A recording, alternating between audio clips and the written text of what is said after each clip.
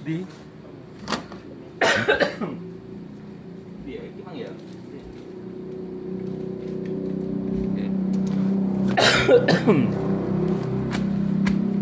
Iya anyar ngene kok.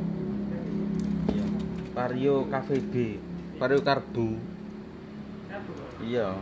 Cafe B ku Vario Karbu. Mari kita lihat datanya.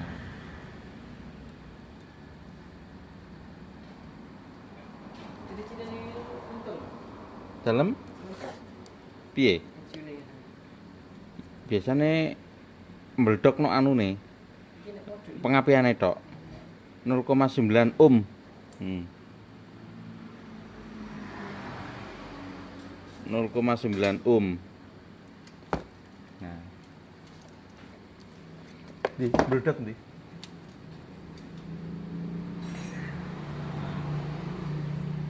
ECU baru iki ya eh ogat hah eh gawane sepeda nah ECU itu nih tewas oh iki apa iki iya pojok ndi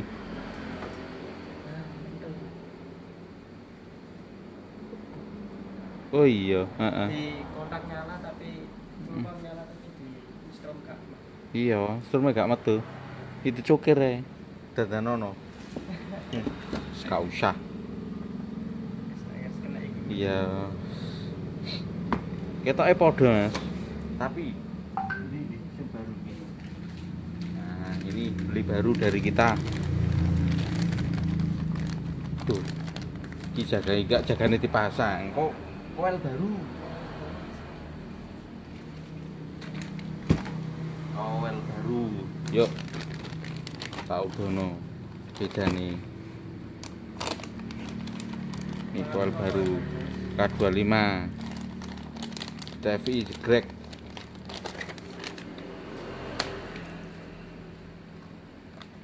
SP ya podo wae kena. Sing penting FI nang FI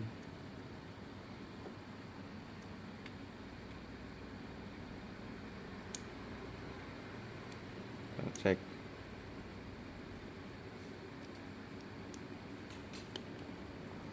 Hmm. Nah, 2,8 ohm. Musuh 0,9. Ya kobong dari kumparan primer. koel Heeh. Kumparan primer.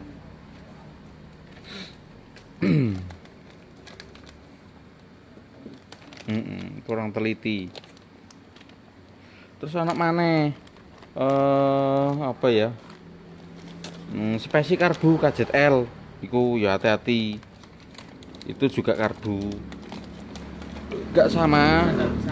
Iya, jangan disamakan. Heeh. Tuh, iya gak cocok, gak tuh gak boleh. Padha karo dikonslet. berarti ma- nyala sementara terus Hmm, iya, mesti nyala sediluk tapi terus mati. Yang Iki nyala kejadian sementara ngene iki. Si pingi sik tas e ono arek arek pesisir. Udah enak seminggu iki. Ngono. Ya dikai karbu. Dereng ana seminggu ya? Oh, iya. Yes, pokoknya jalek keliru nek milih nek milih koel. Senajano walaupun bentuknya bentuknya sama yo, kita kan podo ya. Kita kan sama, tapi beda peruntukan. Ya. tapi kalau dipakai di bis Apa? stop Tetep gak iso. Nek FI ya tetep kena sembarang FI. Kalau FI untung berarti tak coba terus tak cabut langsung saya khawatir Mm-mm. video saya yang Scoopy Eh ngono, wis wis sampean berarti sampean coba anyar. Bertiga sampean karek tinggal klop to. Iya, Iki disimpen ge jimat ganti yang baru. Iya to. Ngono kuwi enggak. Di di kersek nih. Mek kersek mau dade kersek. Dade kersek. Ya kena ge pelajaran. Pokoknya jadi keliru, nek sanksi mending dicek tuku koil ku. Nek sanksi mending dicek. Saken nang web-web dicek nang web kodene ngono iku modal. FI to iku sesama FI bisa saling tukar menukar hanya beda sifatnya ono sing ngasilnya luwih gede sik nang di catatan kewingi ada yang perbandingannya itu lebih tinggi nek luwih tinggi primer perbandingan antar primer dan sekunder lebih tinggi iku ya padha mbek hasil perkalian. Mau perbandingan itu eh, didapatkan misalnya sama dengan 1000 perkalian karo 1200 ya kenake sing 1200 ngono. Aku ingin ngukuri wakel tapi kok lali tak taruh mana? Wis tak catet nang kertas. dipelajari sih. Iya nah aku nah aku gak sapate gak pate anu gak pate anu apa ya gak saya ku gak pate memperdulikan iki strum luwih gede luwih cilik barang ngono ku gak pate anu aku. Lek terima strum gede strum cilik ngono kuwi di di step up rolase kan ya itu hasilnya kan lebih besar. Ki step up sampai 18 kan ya mampu. Tapi trigger masane iku nek iso di kayak di kayak njobo. Ya trigger masane ditaruh di luar. Ini Dirubah, step Pak. ah yang ini dinaikkan sampai 18 terus mm -mm, triggernya itu zaman tumbas modul-modul modul PWM itu. Akeh modul PWM murah. Patang puluh limo sing bagus sing murah-murah tambah mek selawe. Nah, tapi ini iso papat limo anu ini bagus. Apa? Oke kawan sekarang kita lanjut ya. Pada sisi teori. Kenapa sih koil karbu. Kalau dimasukkan di injek itu kok bisa bikin tewas ECU nya atau istilahnya pincang? Kok signal groundnya kan kok tidak bisa keluar? Istilahnya eh, pincang di eh, apa di signal masanya. Kok mati signal masanya? Nah begini kawan ya sederhananya gini gini gambarannya ya. Eh ini kan coil ya. Coil gimana ya? Coil nah coil itu kan konsepnya itu kan nah di sini kan ya. Ini nah ini bautnya. Oke. Ini kan nah, nah ya Nah, oke ini masa ini tuh gandeng sama ini masa. Nah ini kan plus ini kan PWM signal masa kan? Nah gini kan istilahnya. Ini kan ini plus 12 ya. 12 plus kan ya. Nah ketika ada muncul ini sediat maka ini keluar api. Wes gampangan ngono antara primer dan sekunder itu kan itu kan ada ada namanya resistansi Ini kalau sampean istilahnya kondisikan ya ini kan primer ini kan sekunder. Ini apa ya eh kowel itu kan tak ubahnya sama dengan trafo step up. Ya trafo step up high voltage.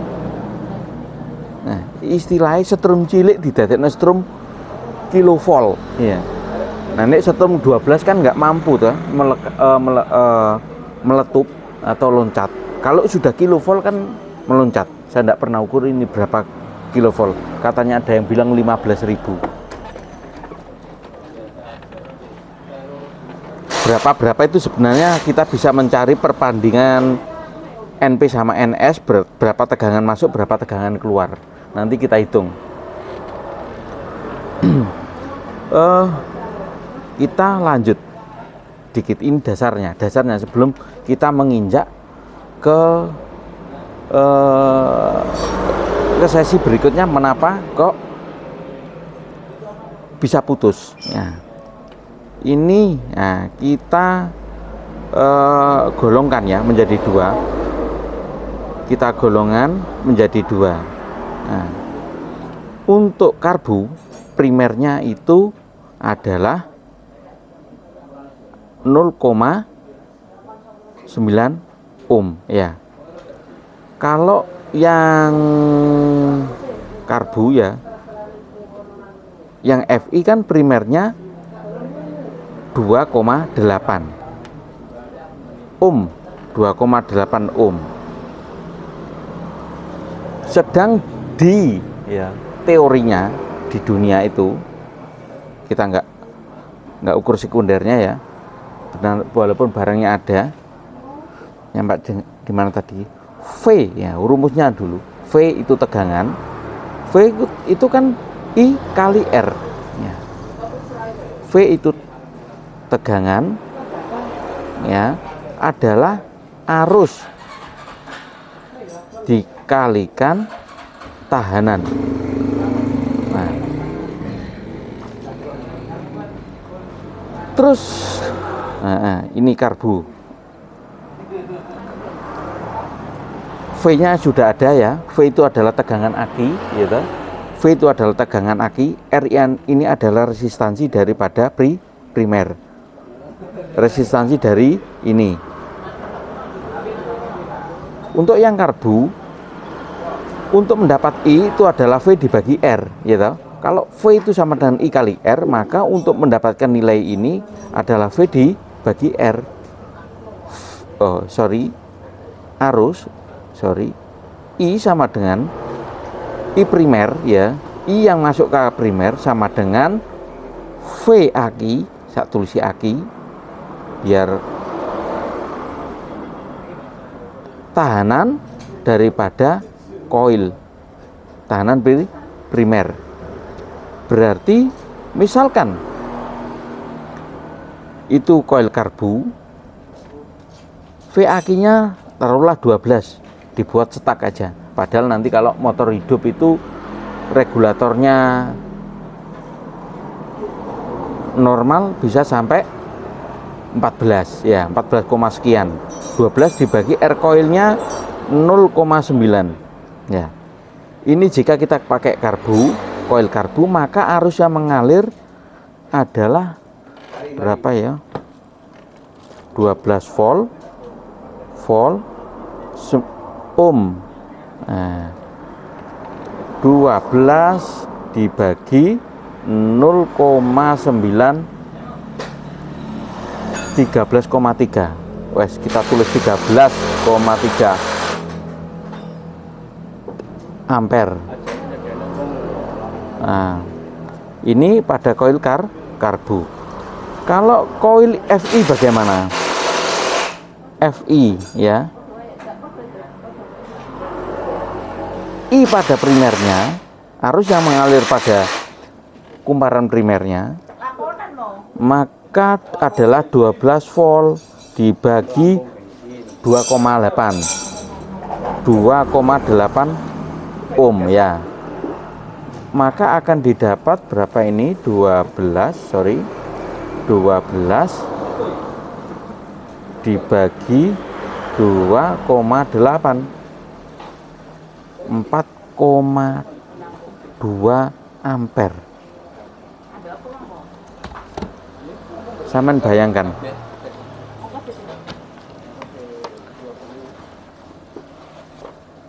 Ini kalau dilambangkan ya. Kalau dilambangkan tuh begini. Anggaplah ya. Ah. sorry sorry keliru. Ya. Hmm. ya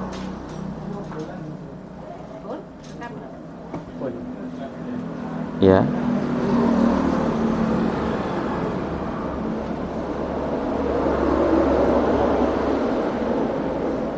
Ini 12 nah, api. Nah. api. Ini masa ini gate ya.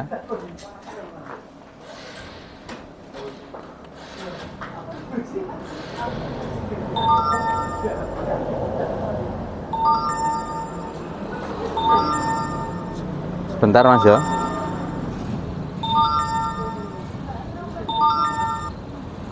Halo sebentar Mas ya, sebentar. Sebentar ya, tak reject dulu. Nah, jadi begini, ini fatnya. So, sorry. Fat MOSFET-nya MOSFET-nya eh, ECU ya jadi begini gambaran singkatnya itu ya ketika ketika sampean memakai ya ini memakai koil karbu maka arus yang mengalir di sini adalah sebesar 13 ampere. Ya terbaca di ujung sini itu 13 ampere. Karena ini tahanannya cuman 0,9 tapi kalau sampean memakai FI gitu maka yang arus yang mengalir cuman 4 4,2 ampere.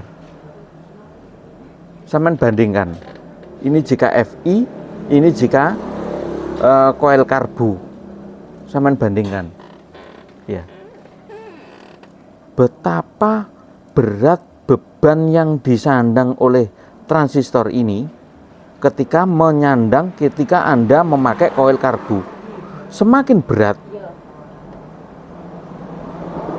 arus yang mengalir ya, beban yang diangkat itu semakin berat, semakin besar arus yang mengalir dan mendekati kemampuan terakhir daripada transistor tersebut transistor rilis gak kuat ya jelas dia mah mati. Kawan ya? Mati gak kuat. Karena melebihi dari kemampuan maksimalnya.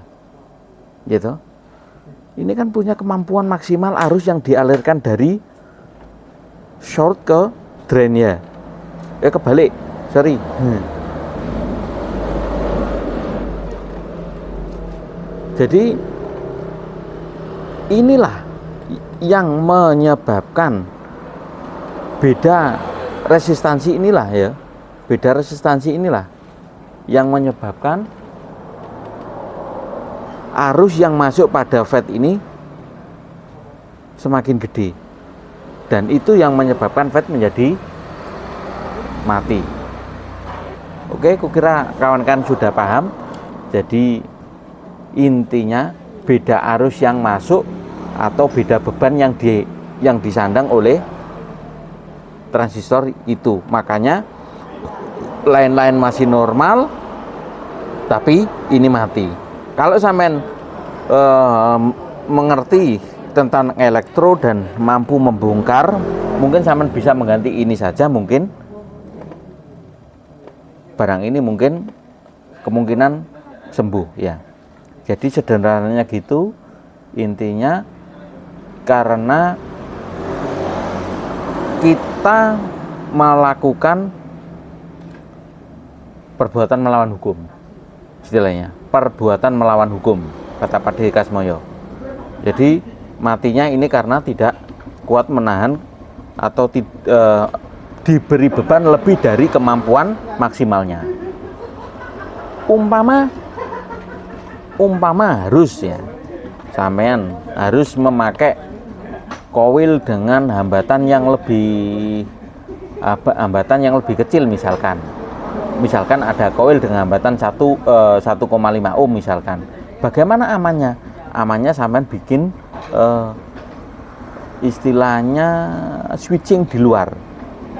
Yang memakai semacam eh, semacam optocoupler. Jadi terpisah antara rangkaian di dalam ECU dan di luar.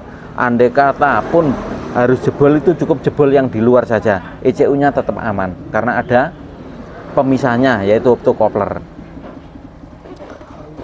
oke. Eh, demikian yang bisa saya bagikan. Kurang lebihnya mohon dibantu informasinya di kolom komentar. Kita akan berterima kasih atas sumbangsi pemikirannya dan saya ucapkan terima kasih. Assalamualaikum warahmatullahi wabarakatuh